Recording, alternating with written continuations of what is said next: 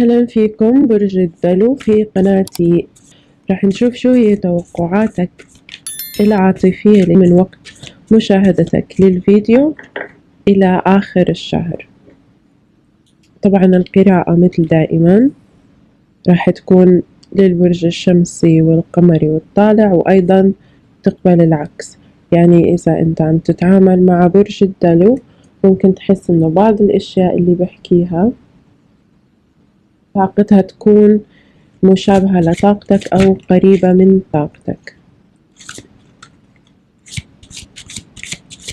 فالأوراق مبين إنه بدها تحكي لبرج الدلو لأنه عم تطير.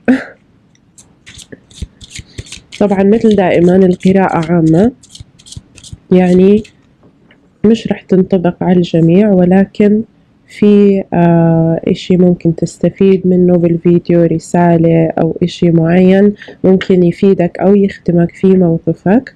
فخذ من الفيديو أو من القراءة آه الإشي اللي بتحسه بيفيدك وبيخدمك واترك الباقي لأنه الطاقات بتختلف يعني مش رح تنطبق على الجميع. رح نبلش أول بطاقتك أنت. وبعدين رح ننتقل إلى طاقة الشريك وخطواتكم في المستقبل. مصير العلاقة بينكم أيضا في المستقبل.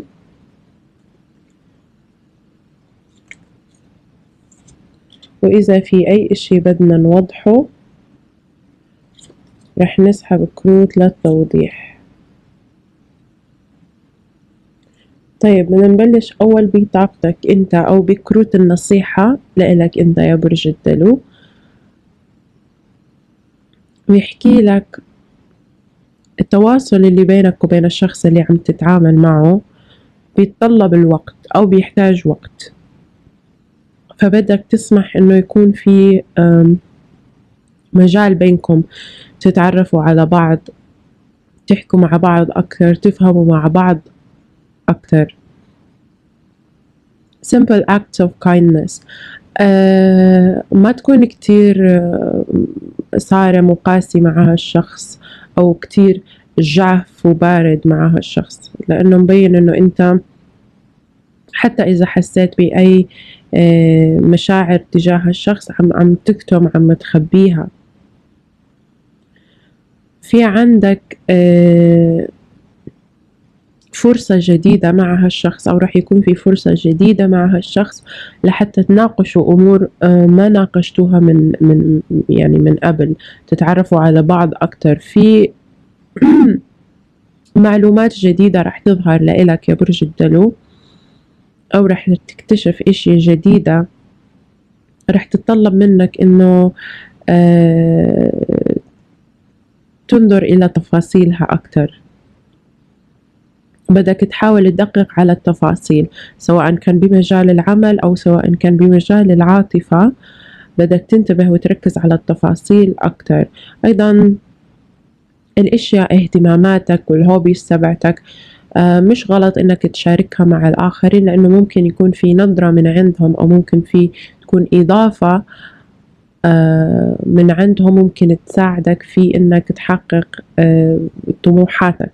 أو الأشياء اللي بتتمناها سواء كان بالمجال العاطفي أو بالعملي.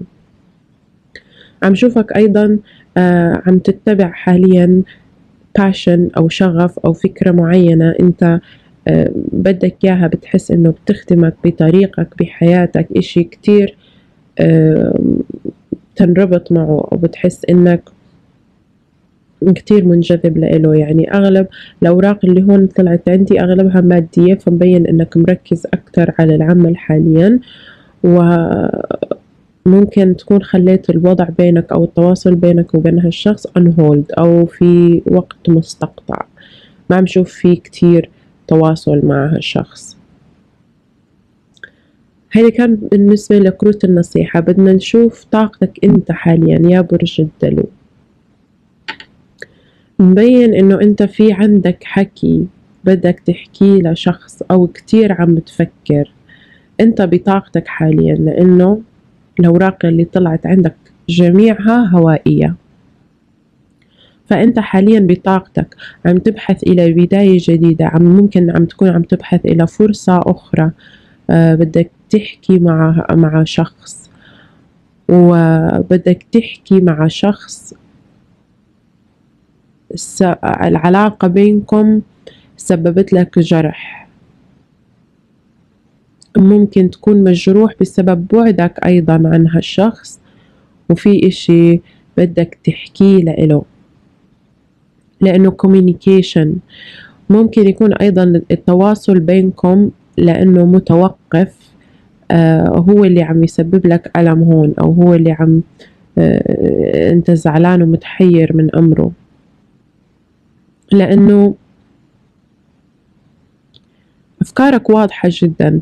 اللي بتريده مبين إنه كتير واضح اللي بتريده ولكن التواصل بينك وبين هالشخص صعب وهذا عم يسبب لك آه، حاليا جرح أو زعلان من هالإشي.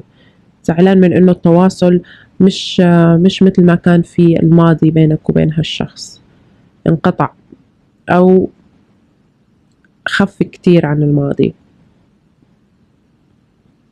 بالنسبة لطاقة الحبيب أو طاقة الشريك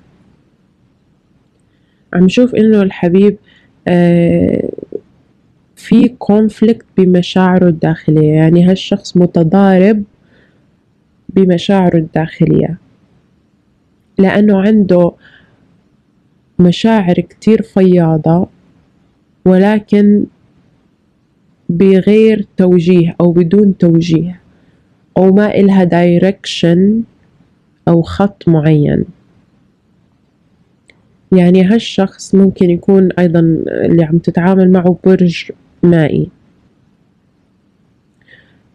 للبعض منكم الأبراج اللي ممكن تتعاملوا معها برج مائي. فهالشخص كتير حساس أنت بتحس إنه كتير حساس وكتير في عنده آه، مشاعر وبتحسه شخص كتير عميق وهو بالفعل عنده مشاعر عم شوف هون يعني شخص emotionally mature عاطفيا أيضا هالشخص ناضج وما بيحب الكذب ما بي يعني اللي بيحس فيه بيحكيه على طول. ولكن طبيعة مشاعره هون كتير متضاربة مع بعضها لأنه ما في direction ممكن أيضا الشخص اللي عم تتعامل معه يكون في عنده عدة اختيارات عدة أشخاص بحياته عدة عروض حب عم تقدم لها الشخص وهو مش عارف أي وحدة يختار منهم. ف ايموشنلي أو عاطفيا الشخص اللي عم تتعامل معه حاليا ضائع. عم شوف. لأنه في عنده كتير آه، اختيارات كتير مشوش عاطفيا. وهالإشي عم يسبب له تضارب نفسي في جوا نفسه. أنت طاقتك هون مبينة إنه كتير واضحة ولكن هو كتير ملخبطة كتير طاقته ملخبطة. أيضا ممكن إذا ممكن أيضا الشخص بيحس إنه هو إذا كان إذا كنت أنت محوط بعدة أشخاص ممكن يحس أيضا إنه في منافسة أو بيحس إنه ما بده يقوم بهالمنافسة مع الأشخاص اللي حواليك. يعني إذا في عندك أنت برج الدلو إذا في عندك إكس أو إذا في عندك أصدقاء عدة بحياتك حاليا أنت محوط فيهم هالشخص بيحس إنه عندك عدة اختيارات وهو خايف إنه يظهر أو يبين مشاعره لأنه أولا بيحس إنه آه، ما بده ما بده يتنافس من أجل حبك لأنه عرضه صادق فهو بيخاف إنه يستثمر بالعلاقة وبالأخير أنت يعني يكون في عندك عدة اختيارات وتختار شخص آخر أو تختار إشي آه إشي آخر.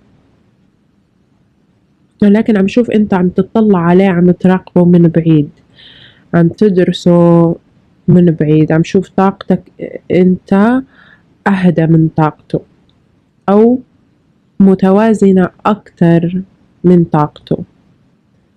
ولكن بعمق المشاعر هالشخص مشاعره ممكن أعمق تجاهك من ما أنت مشاعرك أعمق تجاهه بصراحة. لأنه أنت عندك سيوف طلعت آه، أوراق عقلية ولكن هو أوراقه عاطفية. فحتى إذا في بينكم تضارب أو مش عم تتفاهموا مع بعض مش عم تحكوا مع بعض إلى إنه هالشخص كتير عاطفي. وكتير بيفكر بعاطفته ومشاعره. بالنسبة لخطواتك في المستقبل برج الجدي عم شوفك آه عم تبعد عن إشي معين ممكن عم تبعد عن علاقة قديمة ممكن عم تبعد عن شخص قديم أو ممكن عم تبعد عن هالعلاقة لأنه أو راح تبعد عن هالعلاقة لأنه طاقة مستقبلية لأنه بتحس إنه وصلت إلى ديد إند أو إلى طريق آه، مسدود. مسدود. صعب عليك إنه أنت عم تشوف إنه ما في حل. عم تحاول توجد حل للمشكلة اللي عم تواجهكم أنت والحبيب ولكن مش عم توجد لإلها حل. فأفضل طريق أنت بتشوفه أو أفضل حل أنت بتشوفه إنك تسحب حالك من الموضوع أو آه، تختار الصمت أو تبعد أو تنسحب شوي من العلاقة إلى إنك عم تحاول روحانيا to manifest the person عم تحاول تجذب هالشخص لحياتك آه، روحانيا عم شوف. أو عم تحاول ممكن تجذب شخص آخر بيختلف من شخص إلى آخر. لأنه في عندك magician فأنت عم تستخدم هالطاقة لحتى تجذب شخص معين بحياتك. أيضا عم شوفك آه عم شوفك؟ باني سور حول حالك إلى إنك بتحبه بس بسبب الجرح اللي سبب لك التواصل حاليا أو في المستقبل رح تكون منغلق على حالك. لأنه عم شوفك تضررت بالفعل. ممكن أنت تكون متضرر مش من هالشخص. ممكن يكون هالشخص جديد شخص جديد في حياتك وهالجرح من علاقة قديمة وما زبطت معك أو علاقة قديمة فشلت ومشان هيك أنت كتير guarded كتير محافظ كتير متحفظ كتير باني حواجز حول حول مشاعرك. فبالمستقبل لسه عم شوفك متحفظ بمشاعرك. أوراقك ولا ورقة منها طلعت فيها كبس أو فيها مشاعر أو فيها عاطفية. وأغلب أوراقه شخص آه، عاطفية. بالنسبة لطاقة الحبيب بالمستقبل الشخص اللي عم تتعامل معه شخص بيركز على التفاصيل الصغيرة كتير. يعني ممكن بيركز على حكيك. أي إشي أنت ممكن تحكيه كاجوال أو ممكن تحكيه بعفوية. هالشخص بيركز عليه كتير. ولكن في عنده تفاني بالعمل. بمعنى إنه في عنده تفاني بالعلاقة ومستعد إنه بخطواته بالمستقبل عم شوفه مستعد إنه يبذل مجهود بشأن هالعلاقة.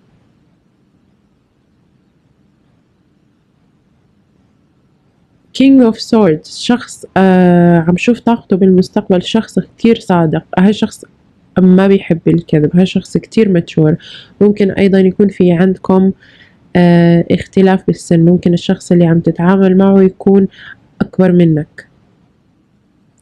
أو فكرته عن الحب بينكم أو اللي بده من العلاقة بينكم بده إشي كبير. بده ten of cups. بده اكتمال.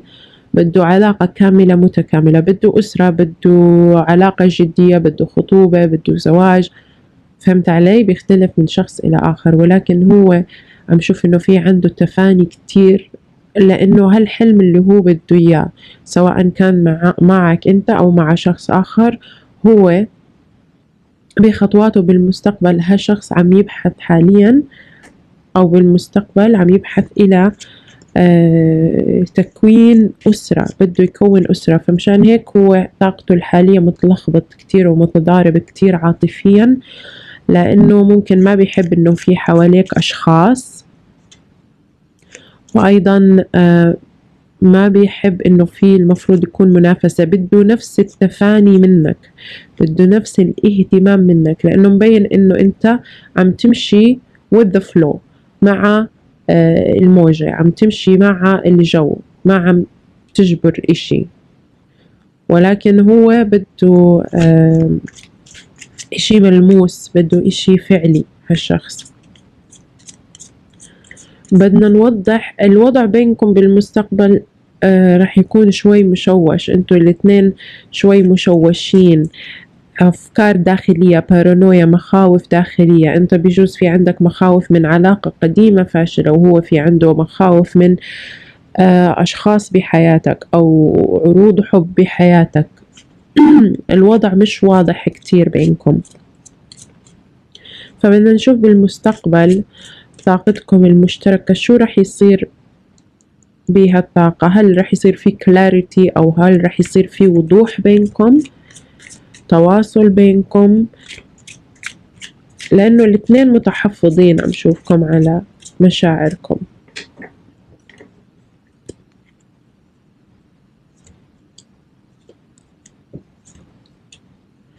ففي تغيرات مفاجئة رح تصير. في تغيرات بالوضع الحالي اللي انتو فيه. رح تصير. إذا أنت عم تحكي مع هالشخص بدك تنتبه لأنه ممكن الوضع يتغير أو ممكن يصير في حساسية بينكم لأنه هالورقة بتحكي عن تغيرات مفاجئة صعب إنك تتحكم فيها. وإذا أنتم مش عم تحكي مع الحبيب آه في عندك أو عم تحس رح يوصل رح توصل العلاقة في المستقبل إلى حمل عليكم آه رح تحسوه إنه تقيل. لأنه يعني هل هالعصيان العلاقة بالمس بالمستقبل أو ممكن البعض منكم حاليا أيضا عم تحسوا إنها كتير معقدة بينكم. ممكن أيضا أنت بتحس إنه هالشخص كتير معقد. فالعلاقة بينكم ممكن ممكن أنت عم تحس أيضا إنه هي عم توجد لك شوي من الحمل لأنه متطلبات هالشخص كتيرة أو الستاندردز تبعه عالية أو المستوى اللي عم يطمح له كتير عالي. فبالمستقبل عم شوف إنه راح تمروا بمرحلة رح رح يزيد فيها الضغط عليكم. ممكن روحانيا ممكن عقليا. إذا بتحكوا مع بعض علاقتكم رح تمر ببعض الصعاب. إذا مش عم تحكوا مع بعض برضو رح تمروا عقليا ببعض الصعاب. اللي هي رح توصل يعني إلى مرحلة رح آه، تكون كتير شديدة أو كتير معقدة أو رح تحس إنه الحمل كتير زاد. ومن بعدها هاي هو اللي رح يوصلكم إلى آه إلى استنتاج أو رح يوصلكم إلى كلاريتي أو إلى وضوح أو إلى فكرة معينة. استنتاج معين خط واضح تمشوا عليه. يعني مبين إنه العلاقة بينكم تحتاج لسبب ما يعني من الله إرادة الله. بتحتاج إنه تمر بهالمرحلة لأنه ما رح توصل إلى إذا أنت ملخبط عاطفيا أو هو ملخبط عاطفيا ما رح يوصل إلى النتيجة النهائية أو القرار النهائي أو ال enlightenment أو التنوير بهو شو بيريد إلا بس يمر بهالضغط الشديد فهمت علي؟ فمن بعد هالضغط الشديد رح يصير في تغيرات بأوقات مفاجئة لأنه Wheel of Fortune دائما بتحكي عن التغيرات. فما رح تستمر هالطاقة لفترة طويلة رح يصير في تغيرات ورح يصير في وضوح بينكم. أه بدي أوضح إشي إشي آخر اللي هو وضحنا إنه رح يصير في كلاريتي بينكم ووضوح. ولكن ما وضحنا إنه هل رح يكون في أه خطوة هل رح يكون في تواصل. فبدنا نشوف هل هالشخص رح آه، يقرر إنه يتواصل معك أو يقدم لك رسالة أو عرض حب. بدنا نوضح شو خطواته هو بالمستقبل بالعلاقة يعني مش فقط خطواته هو بنفسه. شو هو مصير العلاقة بينكم؟ أوكي أوراق كتير كتير كتير جميلة. ممكن البرج اللي عم تتعامل معه يكون آه، برج مائي بالأخص برج السرطان لأنه هالكرت بيتبع برج السرطان. فممكن البرج اللي عم تتعامل معه آه، برج مائي. جادجمنت آه، في بينكم بعد بالمسافات. ولكن عم شوف إنه في تقدم. ورقة التشارج بتحكي عن التقدم المستمر الدائم. فهالشخص في رحلة عن البحث عن آه، الرضا العاطفي. هالشخص هو مختار قرار إنه هو آه، بده الرضا العاطفي بده تين اوف كابس عم يبحث عن السعادة العاطفية هالشخص. وإنت آه، ما عم شوفه رح يقوم بخطوة تجاهك ولكن هو في تقدم مستمر. إذا أنت ممكن توفر له اللي هو بيريده لأنه هو هون أغلب كروته بده آه، رضا عاطفي بده أسرة بده إشي جدي. عم شوف هالشخص عم يحاول يكون أسرة حاليا. فإذا أنت بتشوف إنه بتقدر توفر له اللي هو عم يبحث عنه اللي بيريده.